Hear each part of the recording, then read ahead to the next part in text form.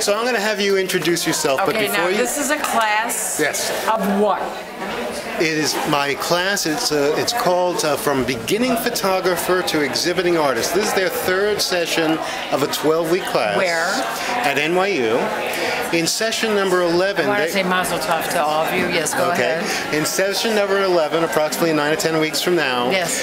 they are going to have their own show in the gallery here.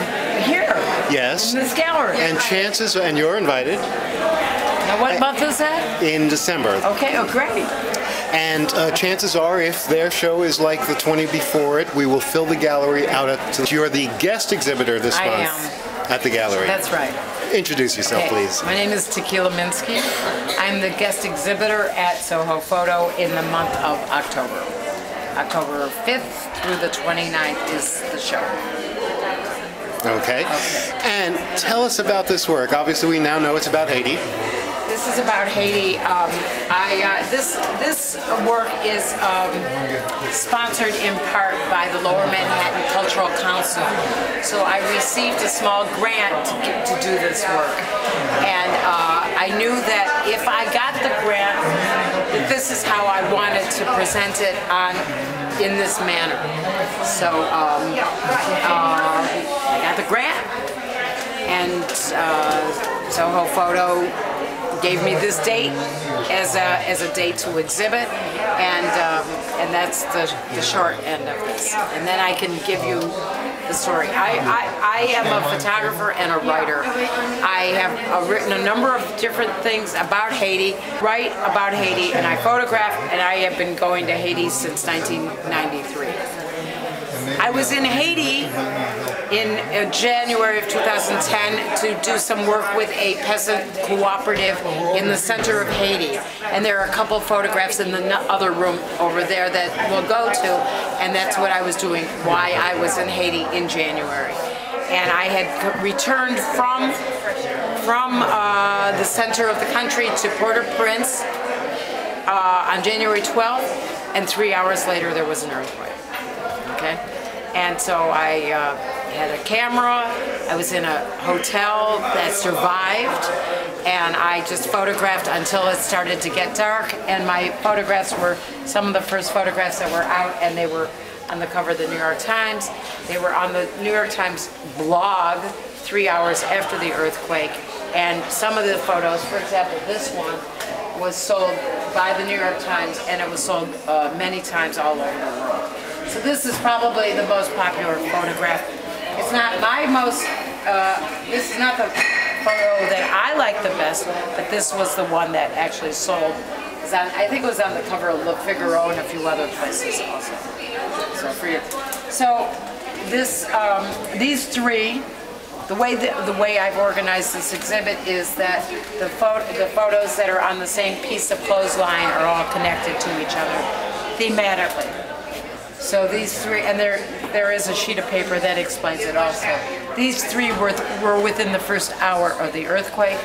This picture was 11 minutes after the earthquake.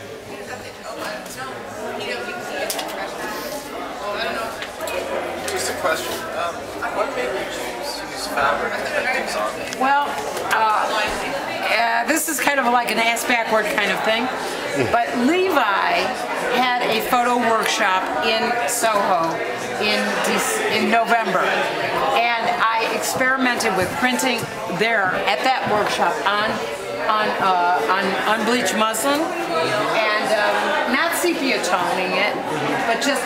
And then I thought if I ever got that grant, this is how I want to present the work because if we move along, you'll understand. Let's move along, you'll understand. So these pictures, and see, this is all a metaphor about Haiti because you put the thing here and it all falls down. this is kind of like what it's like having no control over your life. And, it, and I mean, it's pathetic. Here, I'm talking about some stupid blue dots on a wall. Imagine this is the day after the earthquake. These three were the day after. This was like a half a block away from the hotel where I, thankfully I was at one hotel that survived. No damage. This is a very sad story. These girls, these are girls, 131 nurses, were in. A, they were at school in a building. This is the building, and they all perished. They were at school. 20-year-old girls. This is. So this is all the day after. So we're talking about January 13th. Um, okay, so you asked me why why did I choose this? Because you have over a half a million people living in tents right now. And so it's a perfect medium to put this on this kind of flimsy fabric because and I'm being very conservative when I said a half a million. I have no idea what the numbers are. Nobody knows how many people are living in tents right now. This was in, this is, this girl was living, uh, I took the six, um, uh, six months afterwards. She's living in a tent in, in the town that was the epicenter, which is about 20 miles from Port-au-Prince. And then, and this is, you know, people, some people just knew right away. They started making their little shacks. This is, imagine living in Central Park. This is the Central Park of Haiti. And this is another place. I was gonna say, I know, well, here, okay, so here, here we have, this is one we the earthquake. And this was, uh, these people invited me, they said they had, they hadn't seen any media people and they were having this funeral. And this was the first formal funeral that went to the National Cemetery. So it was her brother that was in the, um, in his house when it, that's what this is. This is the funeral.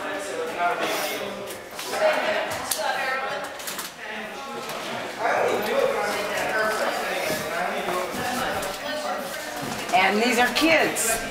I don't even know, think it needs any explanation. That was a broken water main. And this is in a camp.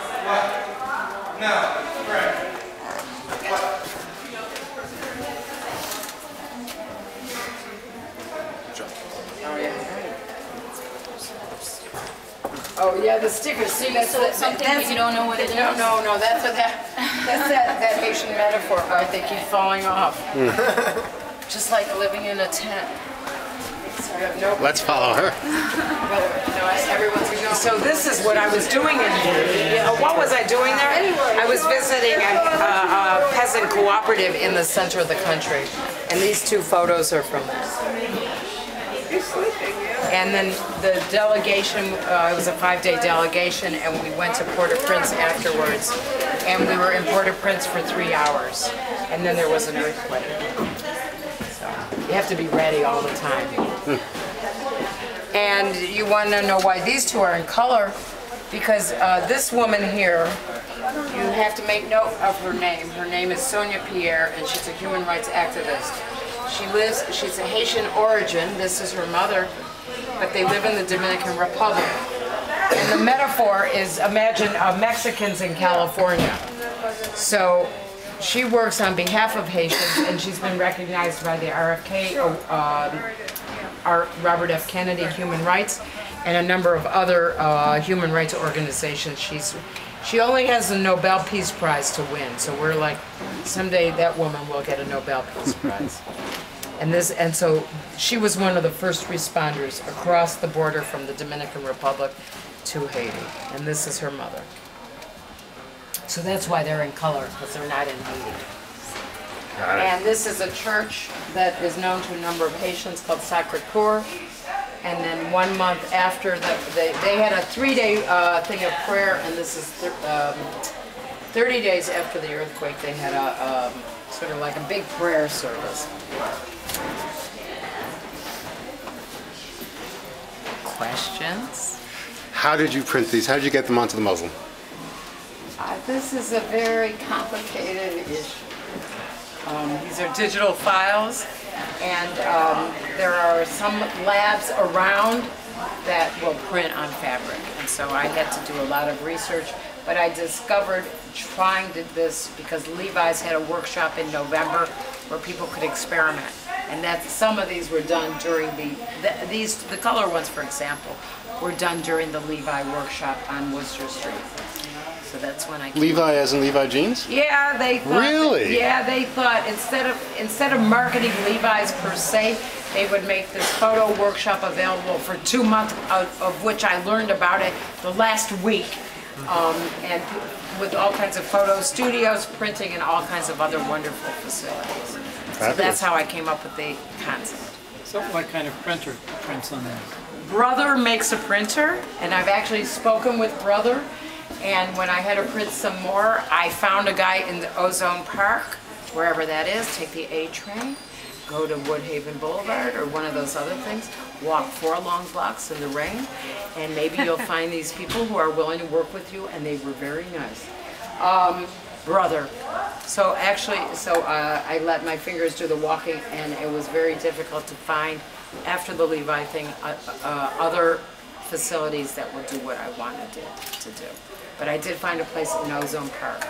How do you get to the New York Times in, within Oh, an hour? A good question. There's a question for you. How did you know that? How did you How did you know that my pictures were? I said it over there. but not within an hour. I said within three hours, but you're, Oh, okay. but you're right. How did I? Well, it happens that I have a friend who was a copy editor at the New York Times. She and I Skype each other. When I was in the countryside, we were Skyping each other. So we were just in touch, but you know, in the countryside, like you like be Skyping and then the, like forget it, the, the, the connection would drop out. She saw I was on Skype during the earthquake. She Skyped me while I was on the earthquake, uh, while I was on saying something. She just said something. I said, but do you have pictures? Yes. She called the New York Times. She was a, form, a former New York Times person, and she made the connection. So that's a very good question, and it, in other words, it's who you know. What's the follow-up question? Can I have her email No, address? no. It's not like, oh, her, no, she's not with them. She's a lawyer. She's an immigration lawyer now. She's lost all her contacts, but she was still in that in between. She was one of those people that got excess from the New York Times. She took the buyout, but she still had contacts there. So, um, yeah, my- but that was a good question. The question I don't think anybody, maybe I'm the only one to wonder. How much did you get paid? Forget that. I'm not. That's a good question. that. Go. Yeah, I'm not going to answer that. Yeah. Okay. Yeah. Did they give you photo credit for uh, for the for every shot that they used? Who? The- The, Times, Times of and- Yeah, oh, Uh-huh. absolutely. Okay. Now, what they also did was they sent it to, they have a stock agency called Redo, Redux. And they put it in their, their stock agency, which was sort of basically okay with me because, you know, there was no way that you could market your own work in the middle of an earthquake. I mean, it was like a major miracle that my stuff got in the New York Times, given that I didn't even have that contact to begin with. Um, so Redo, R-E-D-U-X, ended up because they're the stock agency of the New York Times. They're the ones who got that picture of like the girl crying in the Le Figaro and all those other things. And it takes three or four months before you get paid, and I guess the deal's 50-50 or whatever. I never, I never signed. You're supposed to sign stuff with them. How do you sign something? You're in the middle of an earthquake. You didn't even sign anything. So it was mostly like, it was all just based on like trust and stuff like that. There were also other people who were trying to get in touch with me to work with them, but I didn't have a smartphone. I wanted to Skype people. They don't do Skype. So you're supposed to have a smartphone when you end up in Haiti so you can like call, make international calls. I mean, you want that all set up before you leave the country. That's all I can say. You don't plan that you're going to be in the middle of an event. Say what? Get an agent. Well, you know, an agent, right? You could be my agent. Well, see, like, right, exactly. Well, then get a base in New York or wherever you're going Well, from. you know, like, okay, the next time I go to Haiti, it's like if I'm, if it, look, if I go and I say, look, if there's an earthquake, will you take care of my work for me? yeah. Okay, okay, Call oh, good. okay, I got, I got myself an agent, but you know, you don't plan like We saw history being made. people say, did you plan on, you know, you were there during. You mean you didn't plan on it? It's like, how do you plan on being in the middle of an earthquake? You don't plan on it, let alone plan on surviving an earthquake. Right, but Tequila at the same time, you're there and you're prepared. There's serendipity to things with it, and serendipity happens to Right. those Well, who so prepared. you're going to be my agent the next time I go, and so we're going to like line that all up before I leave on my next trip. All right. Thank you, Tequila. Thank you. I'm looking forward to like this YouTube thing.